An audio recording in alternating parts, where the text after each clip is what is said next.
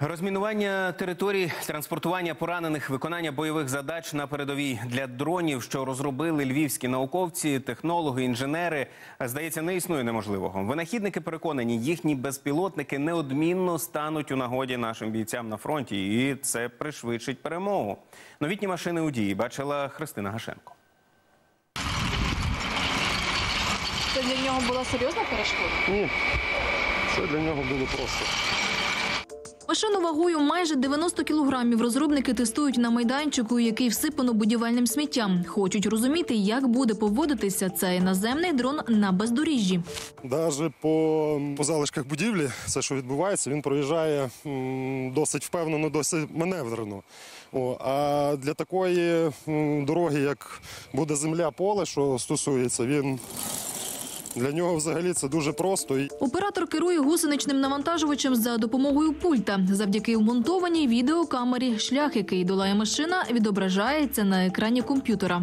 керування дуже просте. Поворот вліво, поворот вправо. Раптом цегляного насипу під час тестувань не витримує одна з гусениць. Та це не біда, кажуть розробники. Тут ще немає просто автоматичної системи дотяжки, яка буде реалізована в самі короткий час. А воно не дасть можливості злітати е, більше самій гусениці. Кілька хвилин роботи, і машина знову на ходу.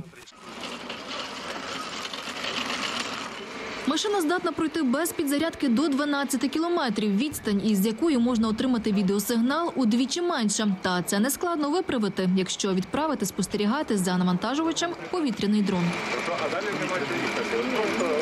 Якщо стоїть завдання вивести з поля бою пораненого, до машини прикріплюють спеціальну платформу. Тоді вона зможе перевести вантаж до 200 кілограмів. А ще цей розумний агрегат може допомогти з розмінуванням територій. Ось він легенько рухається. Тобто ми зараз розрахувались на зовсім легкий прижим, такий мі- мінімальний. Розуміли, що він може знищити протипіхотну міну. На протитанкову він ще за слабу має нагрузку. Треба йому і коромисло більше трак видовжити, але піхотну вона на ньому спрацює. Тому поки що вважаємо, що піхоту після нього пропустити можна. Собівартість такого дрону близько 25 тисяч доларів. Усі гроші витрачені на виробництво, волонтерські внески. Відповідно, створювати дуже дорогу машину не потрібно. Вони всі е, їхня робота, ну скажімо, два-три виїзди. Їх або мінометами знищать, або якісь ну е, реальне життя в них недовго тривале. Зараз працюємо над тим, щоб ціна їх дещо впала. Залежить від серійності. 10-15 машин, е, ціна буде вже 15 тисяч. Наземний дрон розробники мають намір представити японським та європейським організаціям, що займаються гуманітарним розміновуванням по всьому світу. Але спочатку ще треба провести певні тестування. Більш серйозне випробування цей гусеничний кун пройде уже через два тижні на полігоні. Там машина розміновуватиме поля.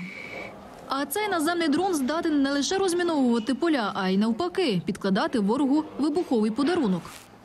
В ньому є відсік, в який може встановити протитанкову міну або якусь іншу вибухівку, і е, доставити її в потрібне місце е, дистанційно керуючи. Запас ходу цієї машини до 10 кілометрів. Завдяки особливій конструкції ходової частини цей камікадзе також не боїться бездоріжжя.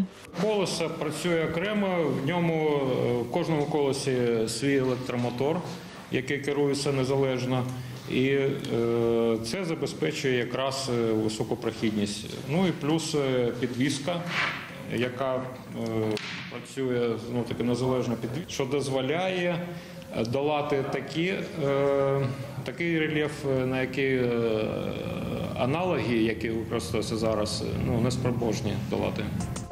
Машина вже пройшла всі необхідні тестування. Попереду бойові випробування і можна відправляти на фронт. Зі Львова Христина Гашенко, Юрій Голубінка. Подробиці телеканал Інтермарафон. Єдині новини.